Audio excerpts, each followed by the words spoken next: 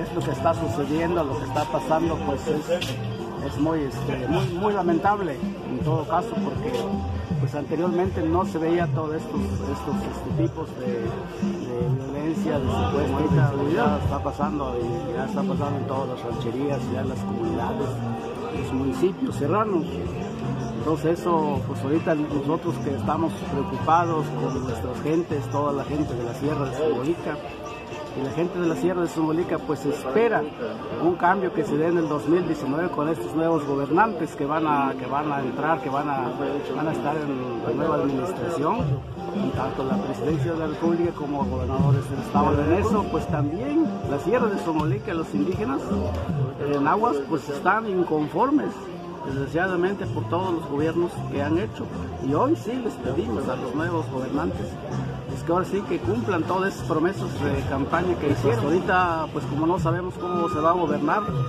como ahorita en la administración porque que estamos también se prometió, nos prometieron así que, iba a haber un cambio real y, por la cual no se dio. Ya va de salida este nuevo gobernador y pues de lo contrario se complicó más la inseguridad, la violencia, los homicidios y todo en todo el estado de Veracruz. Y más que nunca habíamos visto en la ciudad de Somolica, por ejemplo, ahorita los casos que están sucediendo, el caso de Mixta de Altamirano, pues un señor está secuestrado y pues no sabemos hasta ahorita qué, qué fin tiene o qué día va a 15 días. Pues, está, está, secuestrado. Bueno, pues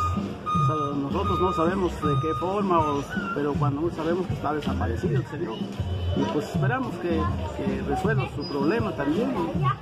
pues a ver cómo van con los demás, pero el problema aquí, lo único que pedimos es a los nuevos gobernantes que ahora sí que ya la gente está muy inconforme y si estos gobernantes que van a entrar no van a cumplir como, como se prometieron en sus campañas, pues la gente se va a mover mucho, pues así como votó, pues la gente se votó por, tuvo la confianza de que este es un nuevo gobierno que nunca ha gobernado el partido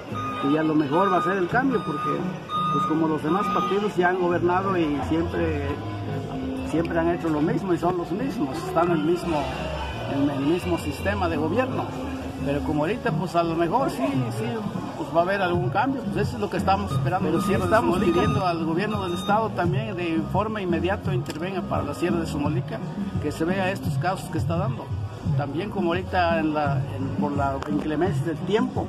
Ahorita hay muchos desbordamientos en la carretera y están incomunicados algunas comunidades. ¿Como cuáles? Eh, allá por Xochitla está también lo de, lo de Comalapa, aquí de Nepocualco. Hay muchos desbordamientos en las carreteras y eso también perjudica porque se incomunican a la ciudadanía en general.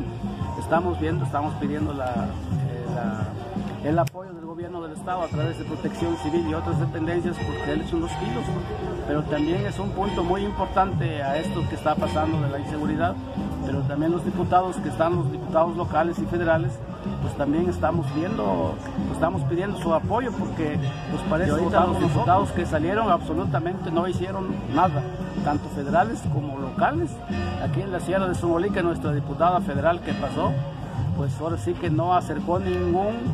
fuente de trabajo, ningún empleo, no vio por la inseguridad también la, diputada local que entregó, Dulce María, y García también lo mismo, que no hizo absolutamente nada, no acercó a ningún programa, no mandó nada, no hay ninguna iniciativa para la gente, la gente pobre, para la gente campesina.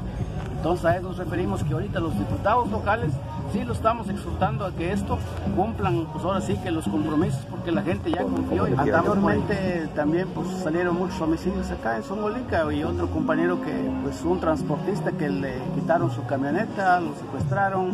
del municipio de Los Reyes y por último pues siempre lo mataron. Entonces ya no dieron su libertad. Entonces hay, otros que también les quitaron sus vehículos nuevos, camionetas esos. Entonces pues ahora sí que ya está pasando muchas muchas consecuencias aquí en la Sierra de Isidro Tehuinte Pacheco, dirigente de la organización indígena Agua